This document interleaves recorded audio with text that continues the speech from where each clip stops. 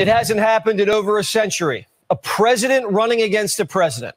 In 1912, telescope Teddy Roosevelt, who'd already been president, came out of political retirement and ran under the Bull Moose Party against Republican incumbent William Taft and Democrat challenger Woodrow Wilson. Taft and Teddy split the base and handed Wilson the White House.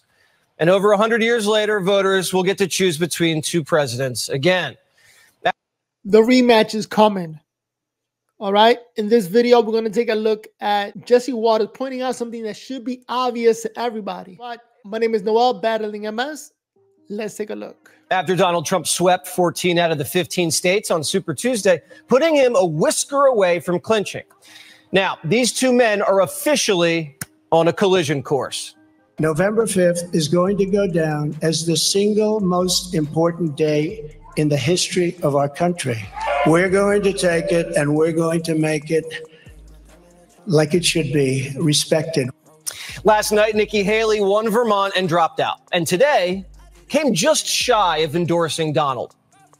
The time has now come to suspend my campaign. In all likelihood, Donald Trump will be the Republican nominee when our party convention meets in July. I congratulate him and wish him well. Nikki will make a pilgrimage to Mar-a-Lago and negotiate an endorsement. She's got a little leverage, so we'll see where she lands. But no one took Super Tuesday harder than the media. I'm wearing Ways. funeral chic today because I'm so devastated over what we saw mm. yesterday. If we let things play out along these lines, our democracy will fall and we will become a country that doesn't have elections anymore. What's wrong with you people? Why do you hate America? What? The media is working overtime to convince you not to vote for Trump.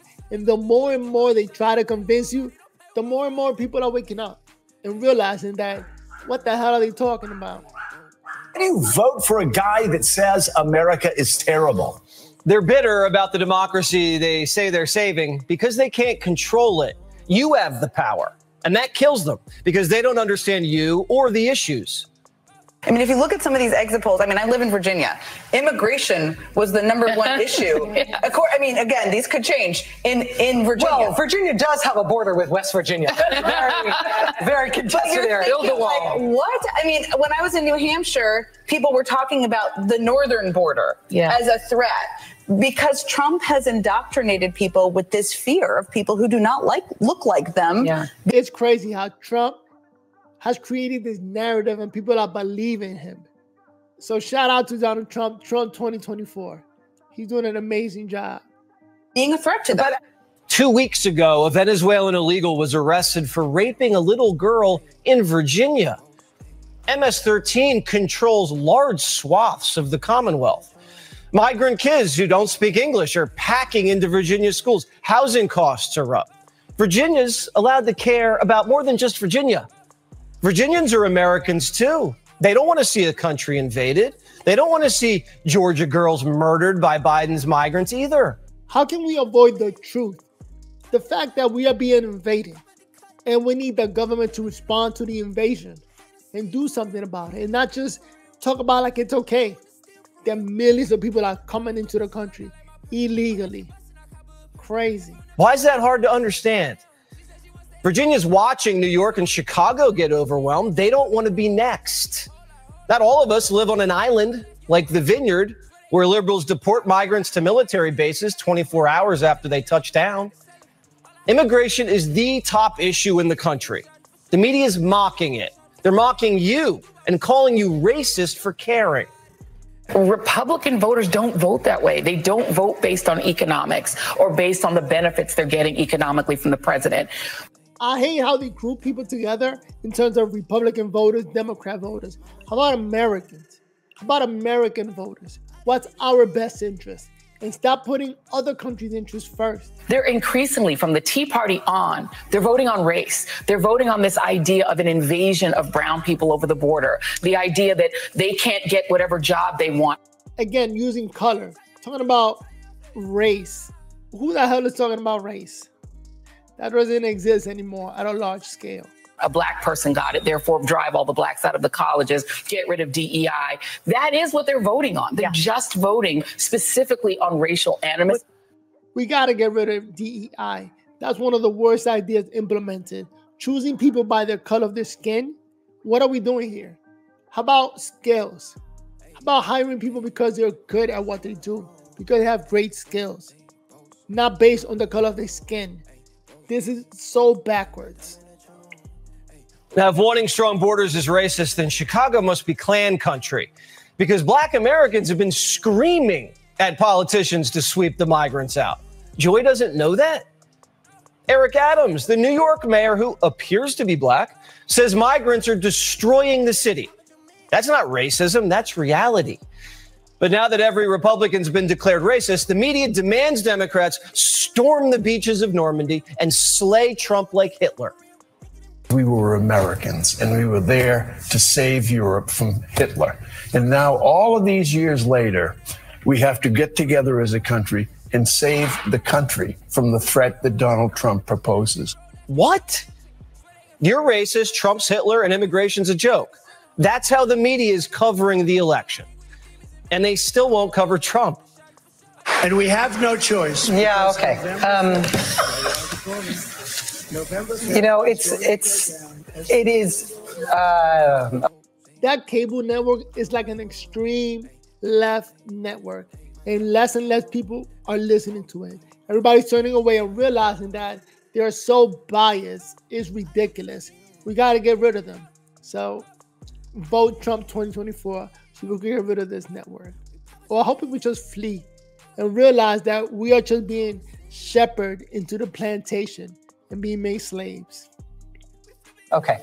I will say that it is a decision that we revisit con- constantly mm. in terms of the balance between allowing somebody to knowingly lie on your air about things they've lied about before and you can predict they are going to lie about. And so, therefore, it is just, it's irresponsible to allow them to do that. It's responsible to censor. That's the argument. This is a preview of the next eight months. Stupid racists can't see their nominee talk about the nation's number one issue. Last night, as graceful as he always is, Trump appealed to the media's better angels.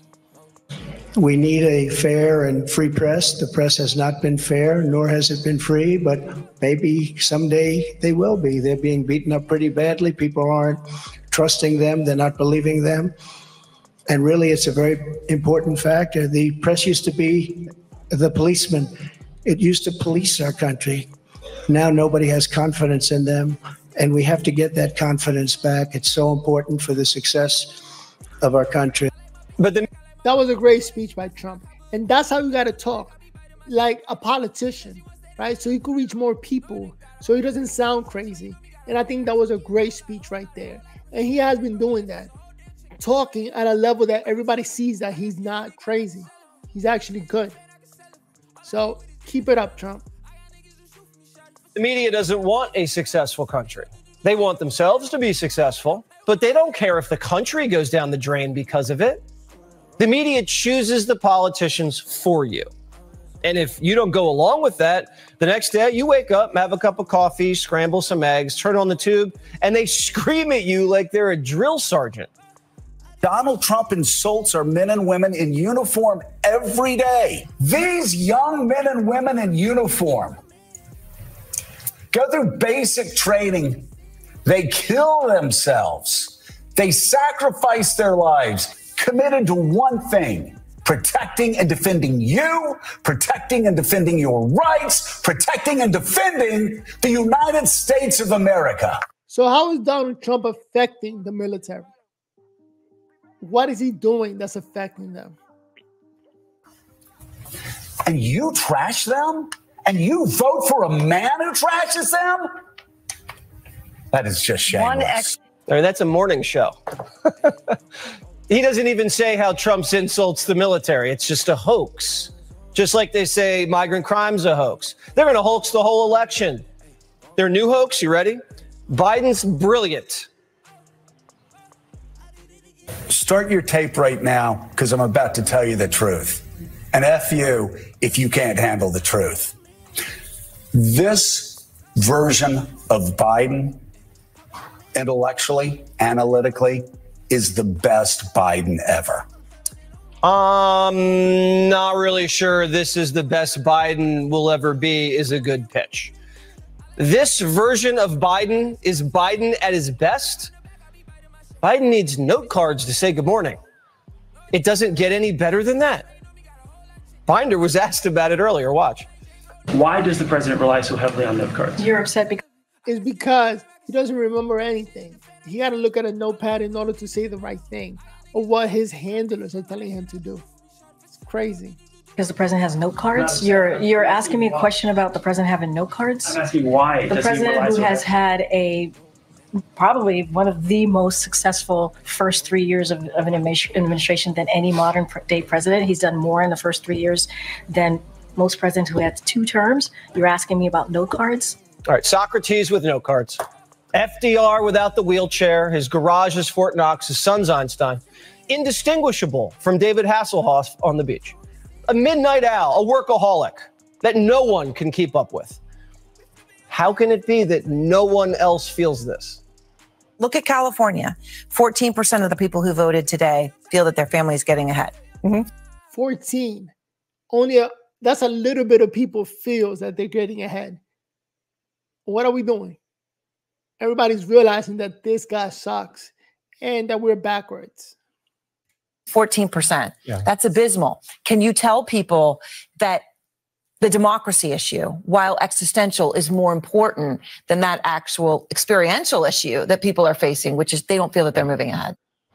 Only 14% of Californians, Biden's base, are better off under him. And he's rambling on about snacks. In fact, some of the small snack companies, you won't uh, and think you won't even notice what they're doing. Uh, when they charge you just as much for the same size bag of potato chips, only has a hell of a lot fewer chips in it. I'll tell you what. I'll tell you who did notice: the Cookie Monster. he pointed out cookies are his cookies are getting smaller, paying the same price. I was stunned when I found out that's what actually happened. He's talking about missing chips, the cookie monster. Even Democrats' most loyal voters, ride or die, have had it with this cornball. I think President Biden, he kind of sold a dream that he couldn't accomplish. His famous quote was that for African American, you weren't black if you weren't didn't vote for Joe Biden. Now, the Biden alliance, consisting of politically correct sheep with coastal degrees, federal bureaucrats, the deep state, androids and big tech, and the media tribe, whose greatest fear is social banishment, are going to run this election like a military campaign. Right now, as we speak, Washington is erecting a fence around the Capitol in anticipation of Biden's State of the Union tomorrow. Not a fence around the border, a fence around Biden, who thinks he needs protection from you while he doesn't provide protection from them. Now, this fence is a sinister symbol to stigmatize half the country's dangerous to justify his crackdown. Even though we outnumber them, they're powerful and will overwhelm you with shame from now until November. They'll call you names, treat you like ogres, threaten you, threaten your job, your family, your status. This will be an all out war by Biden's alliance against the American people in the name of saving democracy, which is the most cynical part of this. They'll try to separate you from your senses, your instincts, from your conscience. You know what's right and wrong, but they'll get in between you and your heart and they'll make you doubt it. This election will not be about policy. That's the last thing they want it to be. It'll be a blood sport, the ugliest campaign in American history. Now, usually it's the politician who gets destroyed, but now they're targeting you. So prepare yourself and stay strong. Hopefully, Trump picks Vivek because I think he's going to be the next president after Trump. So that means Vivek gets to be the VP for four years, and then he gets to be president for another eight years. So let's just cross our fingers and hope that Trump picks Vivek. Verbal On Life. My name is Noel, battling MS, doing my best to continue to go live. With that said, peace out, and I'll see you guys on the next episode. Peace. Trump 2024.